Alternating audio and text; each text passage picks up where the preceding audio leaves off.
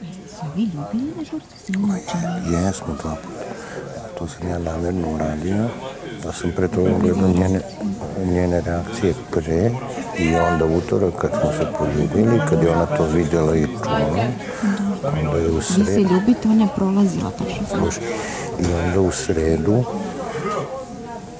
pukla, jer ona mislila da bar neću da se ljubim, onda je u sredu pukla, i onda, da, I onda napravi, počela nju da spominje, onda napravila onaj haos, tukla me, I ovdje- da, onda došla ovdje na krevet, maltretirala me cijelu noć i stalno pominjala nju kako možeš ovo.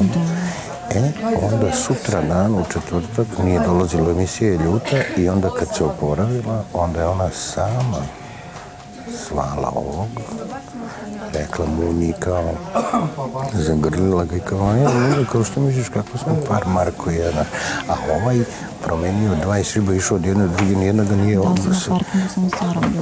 Da, i sve i njemu dobrodošlo, on bio do naš Anju i ona sad misli da će meni dovoliti kao, Samo ne daš reakcije. ne, ja sad završavam s Brankom, večeras ću da kažem, zanima me, sad se te dvije reakcije i da dokažem da je ona morala da se smuva sa bilo kojim prvim koji može, ili ovi drugi nisu koji 2% morala da uzme najlakše od muškarca koji je bio sasvim sad ću da kažem, e sad, ja nisam, ja nemam devojku, niti ću da budem ni kim, niti mi je to bila namjerna, namjera mi je bila sada i reakcija, a ti ćeš sad morati na silu da ostaneš s ovim. ja sam doktor. I plus, imala alternativu Urošu, Uroš, tela sa mnom ponovo, nema, i sad mora sad.